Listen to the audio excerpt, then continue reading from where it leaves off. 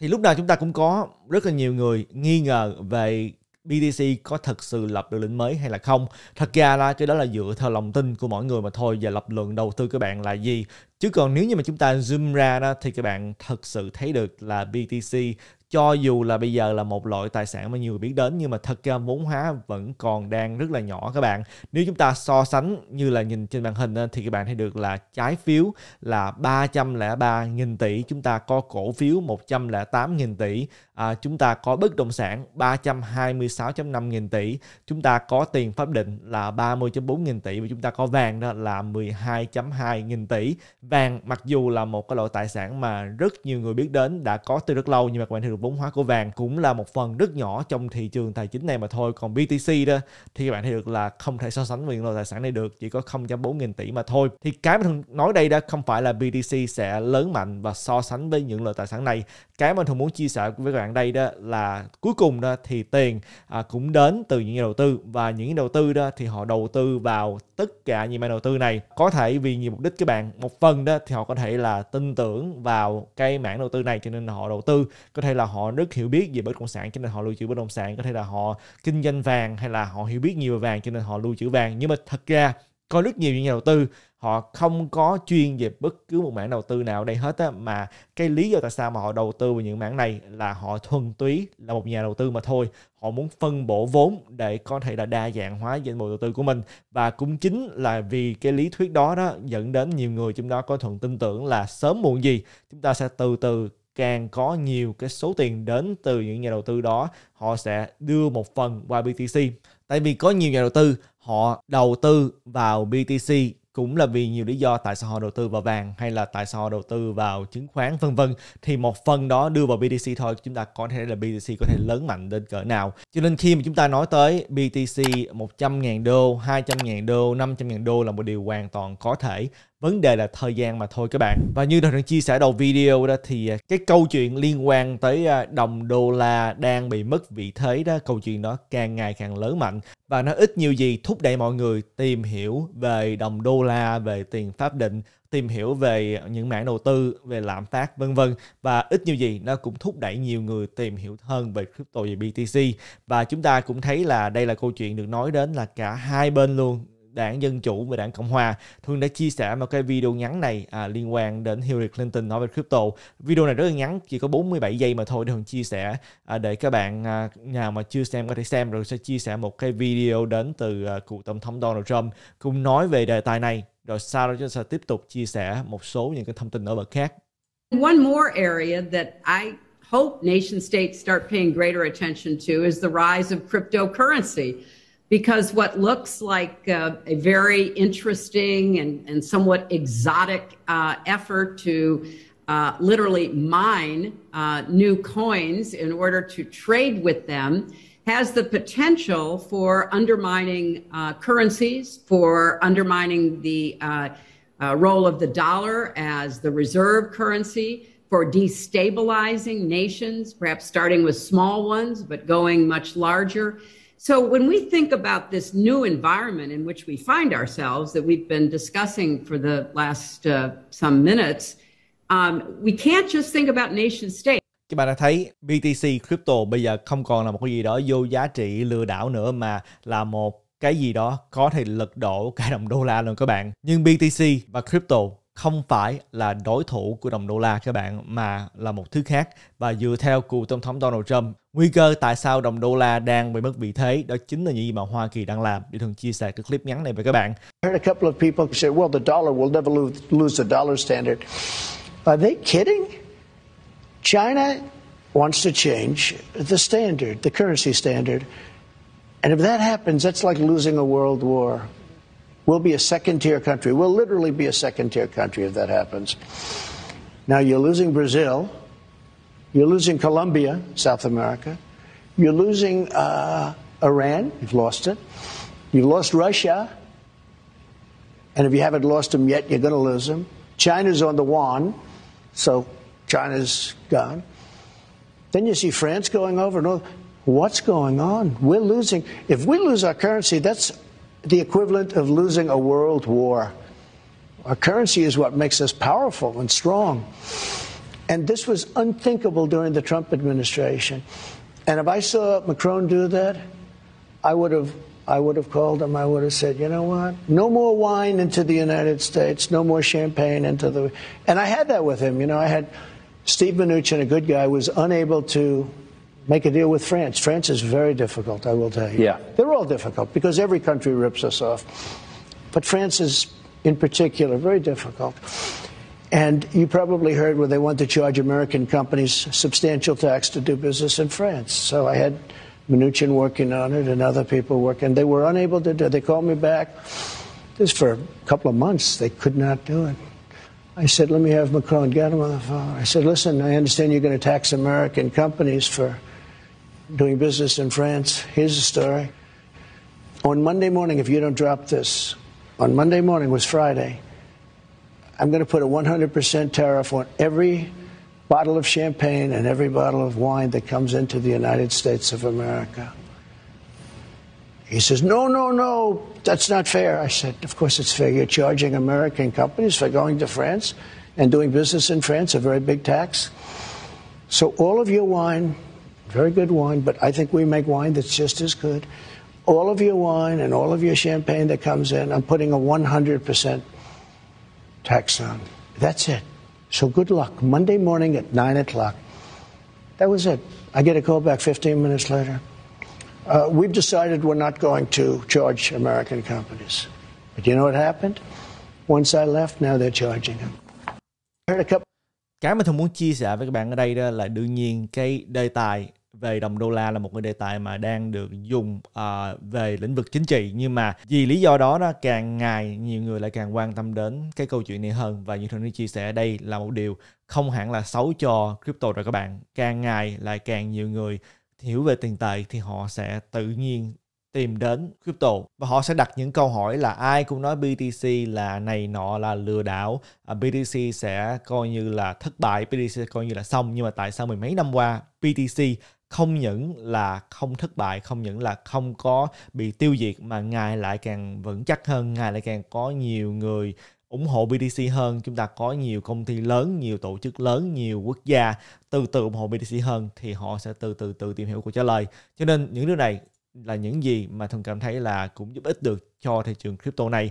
Còn về việc là đồng đô la có mất vị thế hay không thì đoàn đã chia sẻ những cái thông tin chi tiết với các bạn rồi. Trên căn bản hiện bây giờ đó, thì ở trên thế giới giao dịch quốc tế là 60% là được thực hiện bởi đồng đô la ngay thời điểm hiện bây giờ. Cho nên đồng đô la vẫn là đồng dự trữ của thế giới trong tương lai đó, thì đương nhiên chúng ta có khả năng là thấy à, càng nhiều quốc gia hơn họ sẽ không dùng đồng đô la để mà giao dịch nữa, thì phần trăm đó có thể là đi xuống thời gian nhưng mà sẽ còn một thời gian rất là dài các bạn, chứ không phải là tính theo một năm, hai năm hay là năm năm như nhiều bạn nói đâu. Thời gian nó sẽ dài hơn. Điều mà quan trọng hơn đó, tôi nghĩ là nhiều người đang suy đoán coi đồng nào sẽ là tiền dự trữ kế tiếp uh, thay thế đồng đô la nếu điều đó xảy ra. Uh, giống như các bạn thấy được đồng đô la đã từng thay thế đồng bảng Anh hay là đồng của nước Pháp vân vân.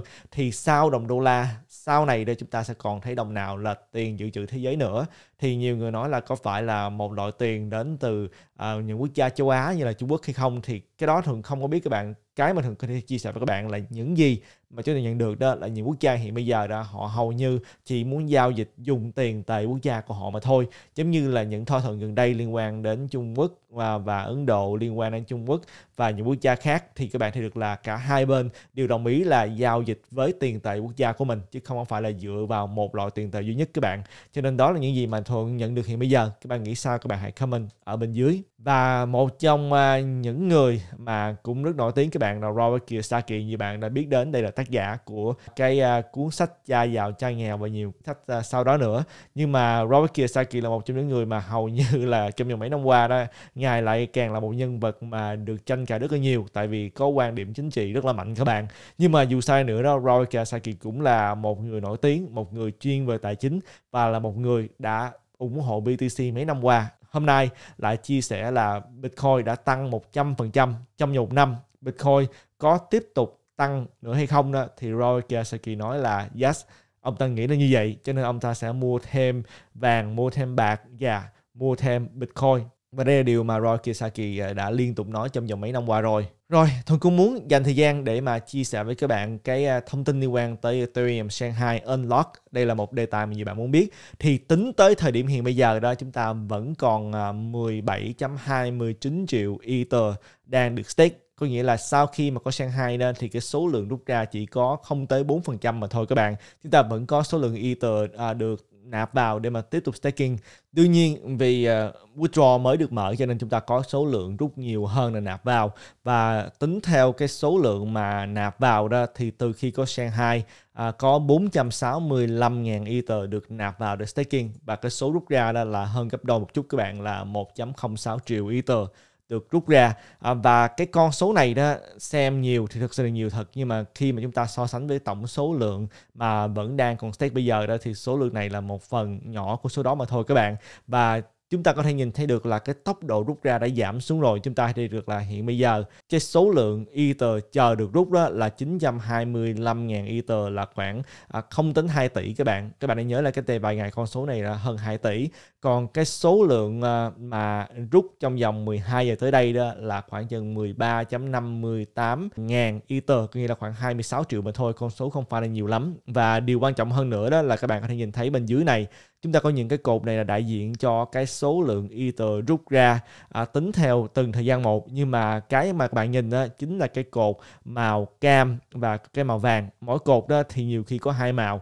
Thì cái màu vàng là đại diện cho tiền gốc của bạn có nghĩa là cái số lượng tiền mà họ dùng để staking. Bây giờ họ rút lãi và gốc luôn còn cái màu cam đó là đại diện cho cái phần lãi mà thôi và rất rõ ràng là trong thời gian qua, phần lớn tiền được rút là cái phần lãi, cái phần mà được thưởng khi mà họ tham gia vào staking hơn một năm qua. Và cho tới bây giờ đó thì các bạn có thể thấy được là Ethereum giá cả cũng không bị ảnh hưởng nhiều và thậm chí sau khi mà có việc Shanghai thì giá cả lại tiếp tục có cái sự tăng trưởng nữa đối với lại Ether đó thì à, chúng ta thấy được là những người nào mà muốn rút có thể là họ đã rút rồi các bạn. Và nếu đó là sự thật đó, thì chúng ta sẽ từ từ thấy con số mà chờ đã được rút này đang ngày lại càng giảm xuống. Chúng ta lại sẽ tiếp tục xem cái thông tin này trong những ngày kế tiếp và thường sẽ tiếp tục chia sẻ với các bạn. Chúng ta hôm nay cũng có một cái thông tin rất là lớn liên quan tới SEC các bạn. Và đây lại là một thông tin là SEC lại đi kiện một sàn nữa đó chính là sàn Bitrex và lần này đó họ kiện sàn Bitrex và họ lại nêu ra 6 cái đồng mà họ nói là chứng khoán được giao dịch trên sàn này và trong sáu đồng này thật ra chúng ta chỉ biết tới ba đồng lớn mà thôi ba đồng còn lại thường không có rạch lắm các bạn à, thứ nhất đó là họ nói là đồng dash cái đó là algo cái đó là omisigo và chúng ta có ba đồng còn lại là tkn NGC và IHT. Đây là 6 đồng mà SEC nói là chứng khoán được giao dịch trên sàn Betrex và sàn Betrex cho giao dịch chứng khoán mà không đăng ký. À, đó là lý do sao mà họ kiện sàn Betrex điều mà thuận cảm thấy không hợp lý ở đây đó là sàn Bittrex họ đã thông báo cách đây vài tuần các bạn, ngày 31 tháng 3 họ đã chính thức thông báo là họ sẽ rời khỏi Hoa Kỳ rồi. Tại vì ở Hoa Kỳ bây giờ đó luật khó khăn quá cho nên họ không muốn tiếp tục hỗ trợ người Hoa Kỳ nữa thì tại sao tới bây giờ SEC mới kiện Bittrex khi mà họ đã ra thông báo họ rời khỏi Hoa Kỳ rồi các bạn? Và điều thứ nhì nữa đó là trên sàn Bittrex có thiếu gì đồng tại sao mà họ chỉ list chỉ có 6 đồng này mà thôi? Đây là điều mà rất nhiều người chỉ trích SEC hầu như là họ lựa chọn một cái đối tượng nào đó dễ ăn hiếp các bạn, giống như là họ nghĩ là sàn Bittrex đã cố định rời khỏi rồi cho nên có thể là sẽ không chống đối với họ Cái việc sớm mua gì cũng rời khỏi à, và những đồng này là những đồng mà các bạn thấy được là ngoại trừ ba đồng Dash Algo và Misigo là có một số bạn biết đến thật ra bây giờ đó những bạn nào mà tham gia trong vòng hai năm qua thì phần lớn chỉ biết đến Algo mà thôi Dash và Mosigo đó, hầu như đây là những cái dự án mà đã từ từ lãng quên rồi các bạn. Đây là những dự án mà rất nổi năm 2017-18. Bây giờ ít người biết tới hơn. Thì họ lựa chọn những đồng này hầu như là à, những cái đồng mà dễ bị ăn hiếp hơn. Cho nên tôi nghĩ là SEC hầu như là họ lựa chọn những cái đối tượng nào mà họ dễ dàng bắt nạt và bắt họ phải đóng phạt. Cho nên lần này đó họ lựa chọn sàn Bittrex các bạn. Tại sao mà họ không lựa chọn những đồng lớn hơn như là Ethereum các bạn? Tại vì các bạn đã thấy rồi SEC kiện XRP 2 năm rồi vẫn chưa có kết quả đụng tới Ethereum thì cái vụ kiện này lại sẽ lớn hơn nữa và sẽ có thể là nhiều năm không biết kết quả luôn các bạn. Thì đối với lại Dash á, thì à, họ lại đưa ra một lập luận mới. Với lại một điều khác nữa là mỗi một lần mà SEC kiện một đồng nào là chứng khoán hầu như là mỗi lần họ đều khi đổi lập luận của mình không có một cái lập trường vững chắc gì hết á, thì họ nói là lý do sao mà họ nghĩ à, đồng dash này là một chứng khoán tại vì đồng dash này đã có một cái gọi là master node thì một ai đó có thể chạy một cái master node và được thưởng à, vì họ chạy master node để mà hỗ trợ mạng lưới. Cho nên vì lý do đó đó dash À, là một chứng khoán. Đây là một điều hoàn toàn mới các bạn. Trước đây họ chưa bao giờ nói tới à, Masano liên quan đến chứng khoán, hai cái đó quan hệ như thế nào. Bây giờ họ lại nói là đồng dash có Masano và đó là lý do tại sao họ nghĩ đồng dash là chứng khoán. Còn về algo đó thì à, họ nói là algo thì dựa vào cái quỹ Algorand Foundation.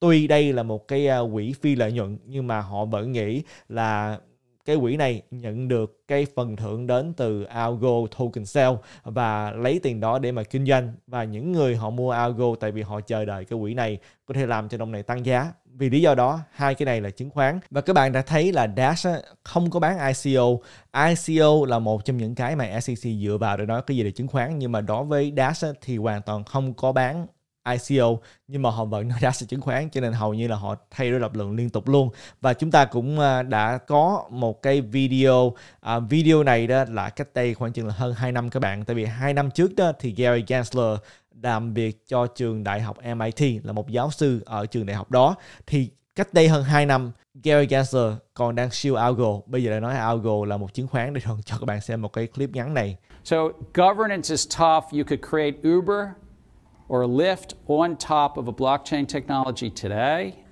Uh, well, maybe in five years you could. It would be have the performance.